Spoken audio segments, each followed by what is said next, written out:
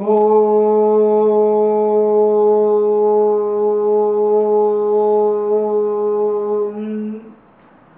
गणानां त्वा गणपतिगुं हवामहे कविं कवीनां पुमस्रवस्तमं ज्येष्ठराजं ब्रह्मणां ब्रह्मणस्पदानशृण्वन्नूतिभिस्सीदसादनम् प्रणो देवी सरस्वती वाजेभिर्वाजिनीवती సీదసాదనం ప్రణో దేవి సరస్వతి వాజేభిర్వాజినీవతి ధీనామ విద్యవత్ ఓం శ్రీ మహాగణాధిపతయే నమ శ్రీమాత్రే నమ సద్గురు చరణారవిందాభ్యాం నమ హరి ఓం నివేద టీవీ వీక్షకులకు సుభాషితం కార్యక్రమంలోకి పునఃస్వాగతం గడిచిన అంకంలో మనం మనల్ని మనం ప్రేమించుకోవడం విషయానికి సంబంధించి గీతాచార్యులు చెప్పినటువంటి ఒక అద్భుతమైన సందేశం మీద సుదీర్ఘమైనటువంటి ఒక చర్చ చేయడం జరిగింది. నేను మనము మన యొక్క అదృష్టం అనుకూలించాలంటే ఏమి చెయ్యాలి? చాలామంది ఏమనుకుంటారంటే బాగుపడిన వాడు చూసి వాడు చాలా అదృష్టవంతుడురా. వాడికి ఏ లోటు లేదు. కానీ ఆ అదృష్టం అనుకూలించే పరిస్థితి ఎవరు తెచ్చారు? ఆ పరిస్థితులు ఏమిటో మనం కూర్చున్నాం. చాలామందికి ఎలా ఉంటుందంటే మనం కథల్లో కూడా వింటూ ఉంటాం. భగవంతుడు ఒకరిని రక్షిద్దామని ఆ రాయి కింద చూడరా బాబు రాయి పైకెత్తి అంటాడు. వాడికి బద్ధకం. రాయి ఎవరితో వస్తాడంతాను నాకేం అక్కర్లేదని చెప్పి వాడు ఊరుకుంటాడు. తీరా చూస్తే రాయి కింద రత్నం రాసి ఉంటుంది. ఒక మూట కట్టి భగవంతుడు వాడికి సహకరిద్దాం అనుకున్నాడు.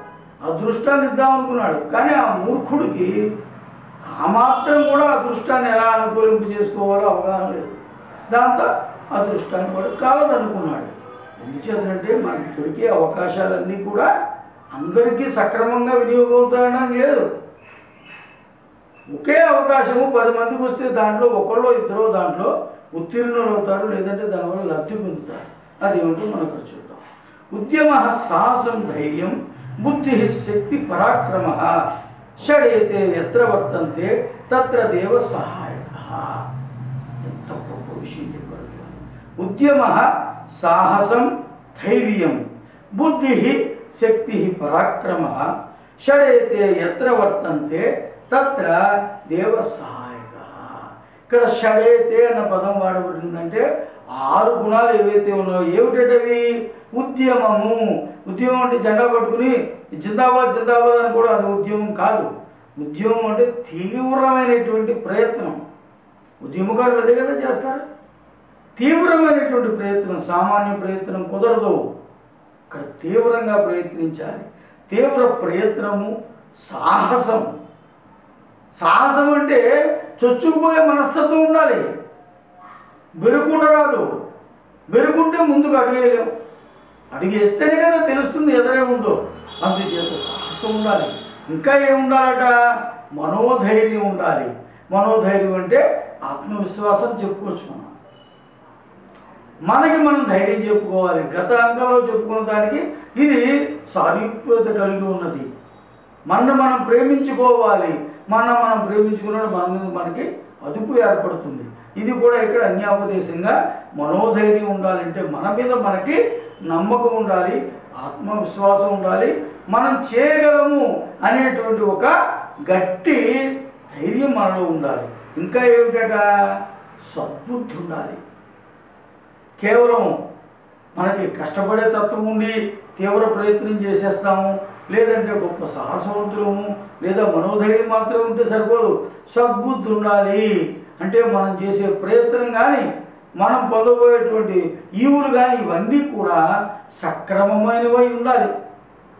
ఇక్కడ దేన్ని కూడా మనము దుర్బుద్ధితో ప్రారంభించకూడదు దుర్బుద్ధితో ప్రయత్నం చేయకూడదు. శారీరక శక్తి ఉండాలి. మళ్ళీ పదే పదే చెప్పుకునేదే శరీరం మాధ్యం కూడా ధర్మ సాధన శరీరం గట్టిగా ఉంటేనే మనం ఏ ధర్మ సాధన చేయగలం. అందుచేత శారీరక శక్తి ఉండాలి. మనకి వివేకానందుడు ఎన్నోసార్లు చెప్పారు.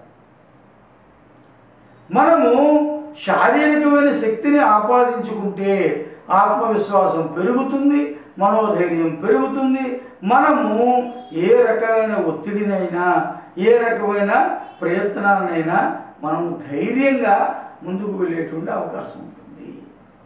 ఎందుచేత శరీరం ఎప్పుడైతే బలంగా ఉన్నదో మనలో ఆత్మవిశ్వాసం ఎప్పటికప్పుడు పెరుగుతూ ఉంటుంది. ఏదో మనకి టీవీ ఛానల్స్లో చూపించినట్టుగా అదేదో షాంపూతో తలరుతుంటేనో లేకపోతే అదేదో ఫేస్ క్రీమ్ రాసుకుంటేనో ఆత్మవిశ్వాసం రాదు. ఆత్మవిశ్వాసము మన శారీరక దృఢత్వం మీద మన యొక్క ఇంద్రియ నిగ్రహం మీద మనం కష్టపడేటువంటి తత్వం ఆధారపడుతుంది. ఇంద్రియ నిగ్రహం ఉన్నవాడికి దుర్బుద్ధి రాదు. ఎందుచేత? మంచి చెడుల యొక్క విచక్షణ వివేచన ఆయనకు ఉంటుంది. ఇక శరీర దృఢత్వం ఏదైతే ఉన్నదో శరీర దృఢత్వం ఎల్లప్పుడూ కూడా మనని మంచి కార్యాలు చేయడానికి తగినటువంటి బలాన్ని ఇస్తుంది. ఇక చిట్ట చివరిగా ఏమిటట? పరాక్రమము. పరాక్రమం అంటే మనం ఏదైతే అధిగమించాలని కోరుకుంటున్నామో అది అధిగమించేటువంటి ఆ మనస్తత్వం ఉండాలి. కేవలం శరీరంలో శక్తి ఉంది వాడు పెద్ద పహిల్వాన్ అయ్యాడు. కానీ వాళ్ళు పరాక్రమం లేదనుకోండి వాడు ఏం చేయగలడు? ఏమీ చేయలేడు. రోజు శుభ్రంగా ఉదయం ఆ జిమ్ మాస్టర్ ఏదో చెప్తాడో అవన్నీ శుభ్రంగా భోజనం చేస్తాడు. ఒళ్ళు విరిగేలాగా కసరత్తులు చేస్తాడు. రాత్రి పగలు వాడు ఓ నడకలు పరుగులు అవన్నీ చేస్తాడు. శరీరం చాలా దృఢంగా ఉంటుంది. కానీ పరాక్రమం ఉండాలి. పోటీతత్వం ఉండాలి. గెలవాలనే తపన ఉండాలి. అది లేని వాడికి అదృష్టం వచ్చినా ఏం కాదు. ఈ ఆరు గుణాలు ఎవరికైతే ఉంటాయో వారిపైన దైవకృప ఉంటుంది. ఎంత గొప్ప విశేషం చూడండి. ఇవి లేని వాడికి దైవకృప ఉండదు. అంతే కదా అర్థం? వైశ్వర్స ఎవరైతే ఈ ఆరు గుణాలు ఏవైతే ఉన్నాయో ఉద్యమము అంటే తీవ్ర ప్రయత్నం చేయగలిగే సామర్థ్యము సాహసము మనోధైర్యము సద్బుద్ధి శారీరక శక్తి పరాక్రమము ఇవన్నీ ఉన్నవారికి దైవకృప అనేది కేవలము ఒక యాదృచ్ఛిక సంఘటనలా ఉంటుంది. వీటిలో ఏమి లేకపోయినా ఏమీ లేకపోయినా వాడు దురదృష్టవంతుడిగానే మిగిలిపోతాడు. మరొక ఏ విధమైనటువంటి దీంట్లో సందేహము లేదు. ఇది మనం చాలా గట్టిగా అర్థం చేసుకోవాలి. అందుచేత ముఖ్యంగా యువతకి ఇది చాలా గొప్ప సందేశం. ఎందుకంటే యువకులు మాత్రమే యువకులు అంటే ఏదో కేవలం పుంసం అంటే ఇప్పుడు మగవాళ్ళకి చెప్తున్నాను కాదు యువ శబ్దానికి అర్థం త్రిలింగాల్లో కూడా యువనంలో ఉన్నవాడు అని అర్థం. స్త్రీ పురుషులే కాదు నేటి రోజుల్లో ట్రాన్స్జెండర్ ఎవరైతే ఉన్నారో వారు కూడా అద్భుతాలు సృష్టించి చూపిస్తున్నారు మనకి. దురదృష్టవశాత్తు శతాబ్దాల పాటు వాళ్ళు మనం తొక్కుంచాం కానీ ఇప్పుడు అందరూ కూడా వారిని కూడా గౌరవించి ప్రేమించి వారిలో ఆత్మవిశ్వాసాన్ని పెంపొందించడంతో వారు కూడా అనేక విజయాలు సాధిస్తూ ఉన్నారు. అంచేత యువ యువకులు కానీ యువతులు కావచ్చు ఎవరైనా కావచ్చు ఆ యవ్వనంలో ఉన్నవారికి ఇది చాలా గొప్ప అద్భుతమైనటువంటి ఒక సందేశము అని మనం ఇక్కడ చెప్పవచ్చు. అందుచేత ఎప్పుడైనా సరే మనము ఈ గుణాలు కలిగి ఉన్నప్పుడు సాహసం మనకు కలుగుతుంది.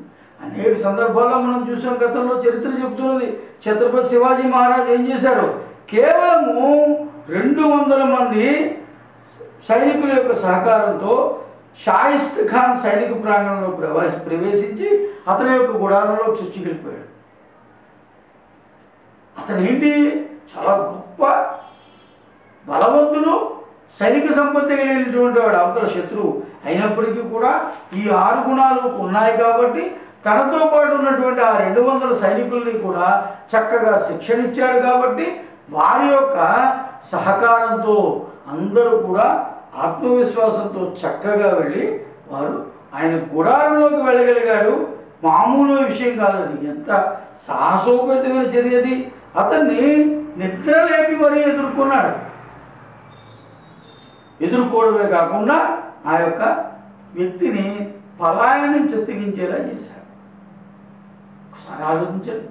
అంత గొప్ప సైనిక సంపత్తుండి అంత సాహసం ఉన్నటువంటి వ్యక్తిని శివాజీ మహారాజ్ కేవలము కూడా తన యొక్క పరాక్రమంతోనూ అలాగే సాహసంతోనూ మనోధైర్యంతోనూ సద్బుద్ధి ఇక సద్బుద్ధి ఏమిటిది? తన యొక్క దేశాన్ని రక్షించుకోవాలి. తన ప్రజలను రక్షించుకోవాలి తన యొక్క అస్తిత్వాన్ని నిలబెట్టుకోవాలి అనేటువంటి ఆకాంక్ష ప్రబలంగా ఉండడం చేత విదేశీ శక్తి అనేటువంటి ఆ యొక్క షాయిస్తఖాన్ అనేటువంటి వాడిని గుడారంలోకి వెళ్ళి లేపి ఎదుర్కొన్నాడు. అలా ఎదుర్కోవడం ద్వారా అతని బారి నుంచి తన యొక్క ప్రాంతాన్ని రక్షించుకోగలిగాడు. ఇలా ఎన్నో దృష్టాంతాలు ఉన్నాయి మనకు చరిత్రలో కేవలము అవన్నీ కూడా ఈ ఆరు గుణాల మీదే ఆధారపడి ఉన్నాయి. అందుచేత యువత తెలుసుకోవాల్సింది ఏమిటంటే ముఖ్యంగా వారిలో ప్రయత్నం చేసేటువంటి లక్షణం ఎప్పుడూ ఉండాలి. హార్డ్ వర్క్ అని మనం పిలుస్తాం. There is no short cut for success it is always a composition of hard work dareness self reliance good quality strength and instinct to fight. ఈ ఆరు లక్షణాలే. ప్రతిసారి ప్రతి చోట ఈ వ్యక్తిత్వ వికాస తరగతుల్లో కావచ్చు లేకపోతే మోటివేషన్ తరగతుల్లో కావచ్చు మేము ఎప్పుడు చెప్తూ ఉండేవి. ఇవన్నీ కూడా ఎలాంటివి? భగవంతుని యొక్క కృప మన మీద కలిగేలాగా అదృష్టం మనకి చేకూరేలాగా చేసేటువంటి గుణాలు. అదృష్టము అంటే వేరే ఎక్కడి నుంచో ఆకాశం నుంచి చూడకూడదు. మనకు మనమే తయారు చేసుకోవాలి. అలా తయారు చేసుకున్నప్పుడు అప్పుడు దైవ కృప కూడా తోడై మనము చక్కని విజయాన్ని పొందగలుగుతాం. ఇంత గొప్ప సందేశంతో మనము నేటి సుభాషితాన్ని ముగిద్దాం. స్వస్తి.